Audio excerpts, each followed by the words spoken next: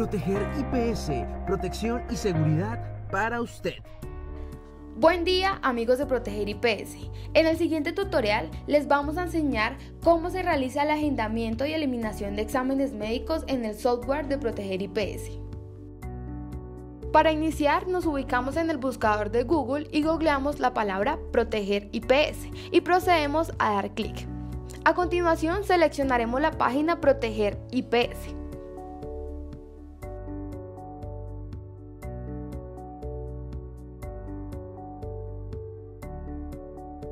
Ahora buscamos dentro de esta la opción de acceso a exámenes médicos.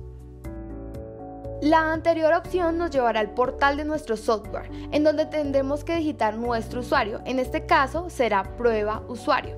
De igual forma, digitamos nuestra contraseña para finalmente dar clic en ingresar.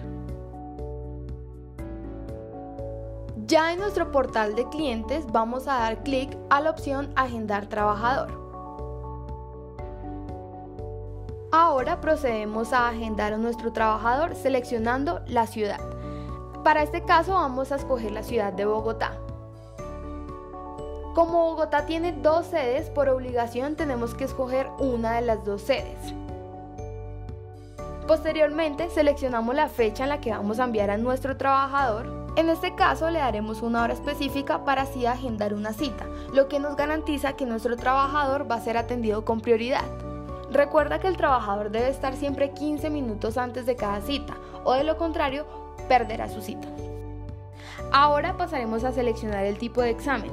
Recuerda que el examen puede ser de preingreso, periódico, egreso o posincapacidad y debes seleccionar alguna de estas opciones.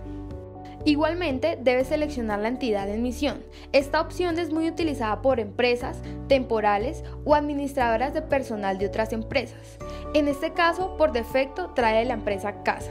Finalmente, damos clic en continuar para terminar con el procedimiento 1 y pasar al procedimiento 2. Ubicados en el procedimiento 2, datos del trabajador, encontraremos títulos con el indicador de asterisco lo cual significa que los datos son obligatorios, como tipo de documento, número de documento, primer nombre, segundo nombre, primer apellido, segundo apellido y sexo. Los datos de teléfono e email del trabajador son opcionales. De igual forma, encontramos otros datos obligatorios para las empresas que tienen o manejan centros de costos y unidades de gestión. Estos datos son obligatorios de seleccionar.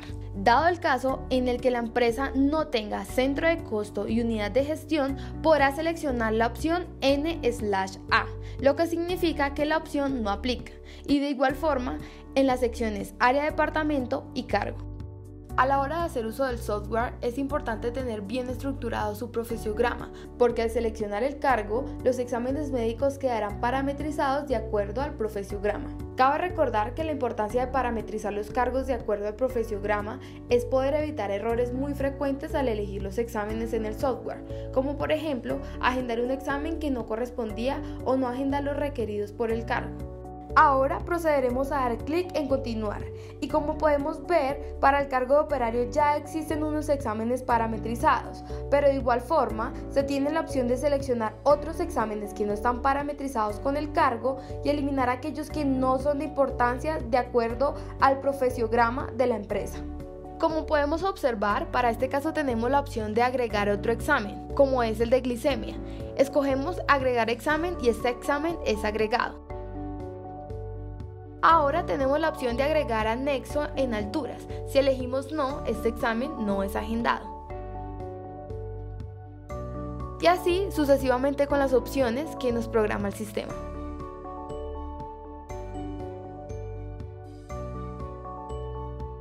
De igual forma, podemos eliminar un examen desde aquí. Para nuestro caso, vamos a eliminar glicemia. Igualmente podemos agregar un examen desde esta página. Vamos al buscador, buscamos el examen a programar, seleccionamos el examen y damos a la opción agregar. Damos continuar y podemos ver las restricciones del cargo, las cuales el médico especialista al realizar el examen puede visualizar y contestar si el trabajador presenta alguna de estas restricciones. Adicional a esto, podemos eliminar o agregar alguna restricción del cargo que consideremos importantes tal y como se ilustra en el tutorial. De igual forma, podemos escribir todo tipo de observaciones para que el médico las tenga en cuenta en el momento de realizar la evaluación. Procedemos a guardar la información y confirmar la orden. De esta manera se genera automáticamente un PDF. Para finalizar, podemos confirmar en nuestro correo que finalmente la orden se generó. Damos clic en el mail y confirmamos los datos del trabajador, la hora de la cita y los exámenes médicos agendados. Esto es todo por el tutorial del día de hoy. Muchas gracias.